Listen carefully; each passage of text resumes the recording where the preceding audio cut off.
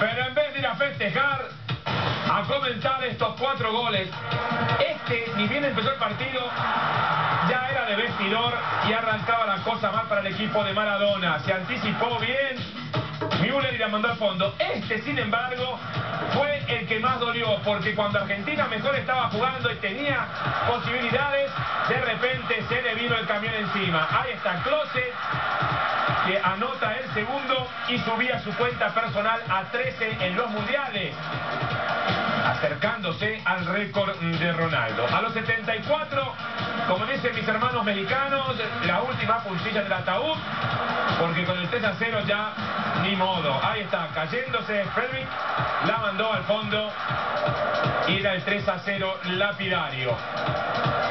El Kun Agüero entró, tocó, pobre. Y sobre el final, para que Close se acerque más al brasileño Ronaldo, la recibe solito y a justicia al arquero Romero y hace la de Hugo Sánchez, pero al revés. 4 a 0 fue contundente, fue fácil.